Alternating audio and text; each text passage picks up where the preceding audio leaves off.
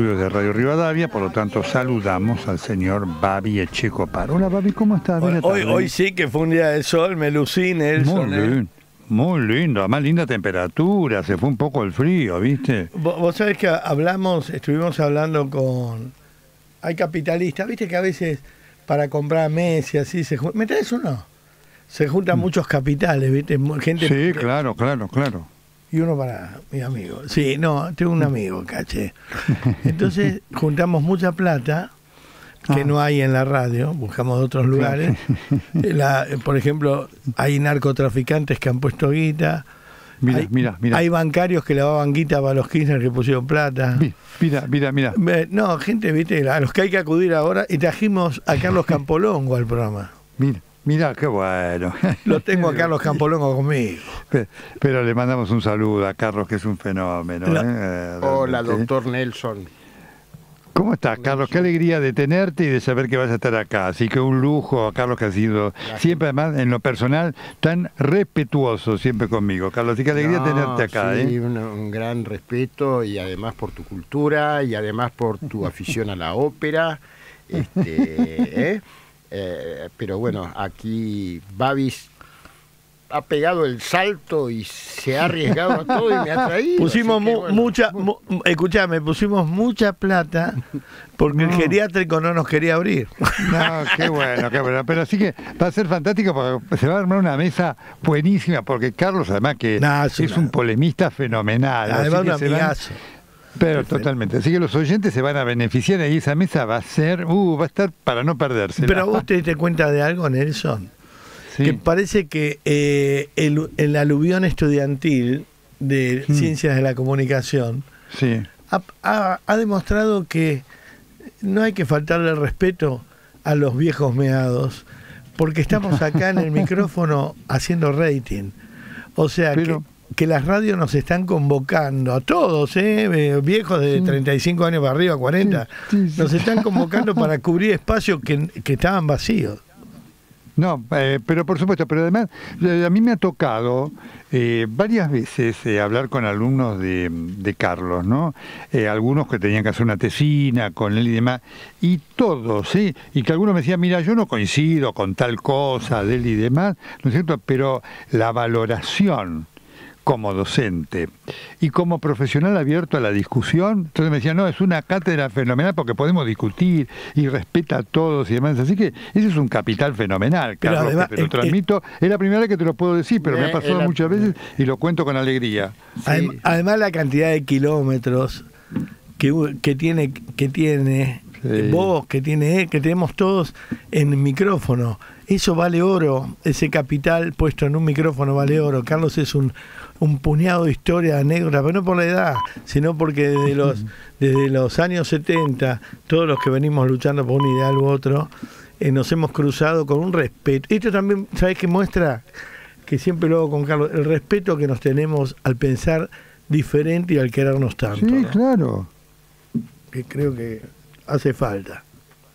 Absolutamente, absolutamente. Así que bienvenido a esto, pero así que por eso quería, justo en coincidencia con esto, remarcar esto que me había pasado, que es la primera vez que tengo la oportunidad de hablarlo públicamente con Carlos, eh, que nos vemos poco, ¿no es cierto? Pero siempre Sí. me ha pasado con los alumnos y siempre me marcaba el gusto que era para ellos ser alumnos de él, ¿no? la calidad y la apertura de libertad y demás. Eso es un capital fenomenal, Carlos, que aprovecho para decírtelo. ¿eh?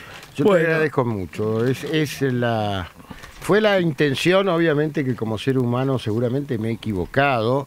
Yo era, no tengo buena gente de prensa, no tengo buena prensa, pero porque era muy exigente. Pero primero te doy mi palabra de honor hasta el último, la última clase que di, hacía un alto, la preparaba, trataba de agregar cuestiones, problematizar, ¿viste? Sobre todo de nuestro Claro, sí. oficio y demás. Así que yo te agradezco mucho y bueno, y si le diste ayuda a ex alumnos para las tesinas y todo eso, también te lo agradezco. Eh, Pero y- no, fue un honor para mí. Pero te transmito eso, ¿eh? Todos, todos además, sí, sí, todo te, te decían eso, no saber lo exigente que es, ¿no es cierto? A uno te lo decían con una sonrisa, Sí, sí, otro te decía, uh, tengo que dar otra vez la materia. Pero todos, eh, mira, todos este, valoraban tu apertura y te valoraban, ¿no? Porque eso Ahora, es una cosa muy importante. Te digo una cosa, Nelson. Este, eh, mira, Campolongo, vos, yo, eh, y a la mañana qué triste.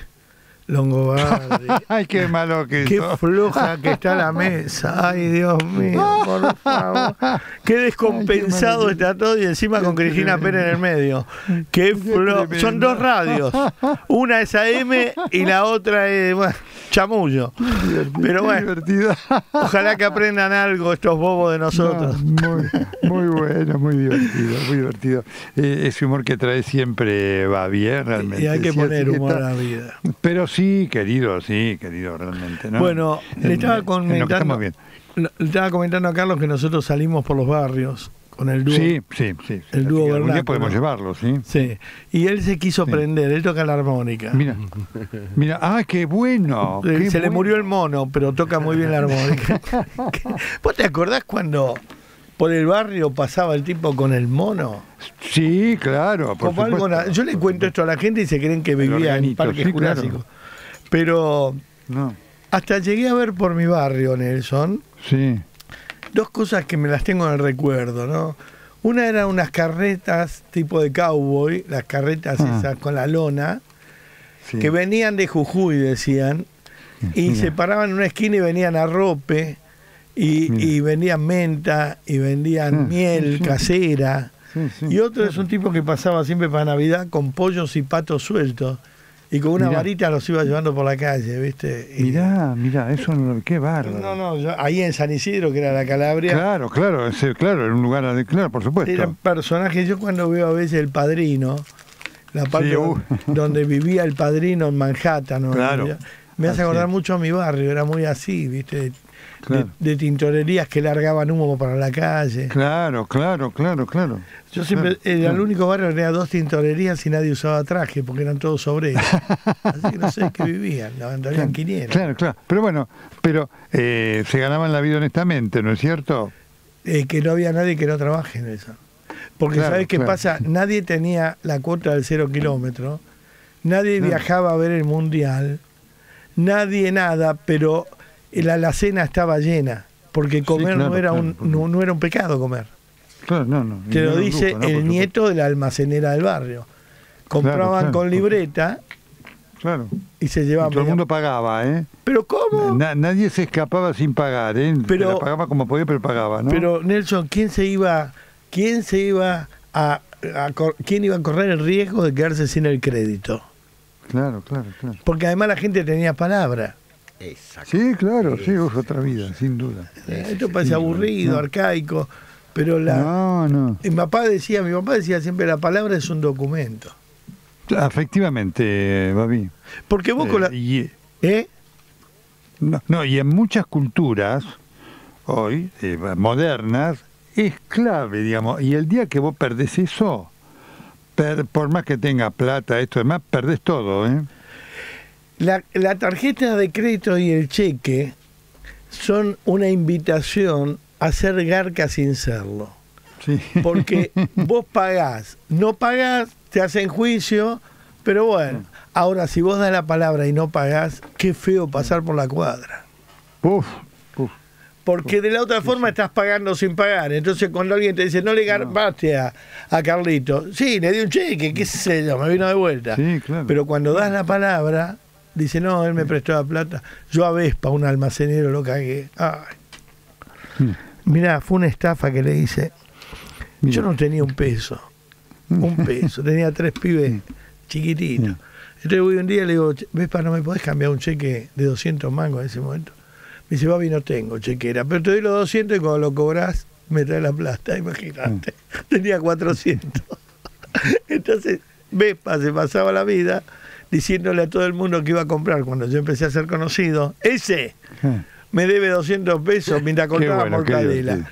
Entonces un día Qué salí al aire en Canal 2 y dije, mira, Vespa, te vas a cortar un dedo con la fiambrera relatando que te cagué. Te voy a contar la verdad. Este, sí, le estafé 200 pesos.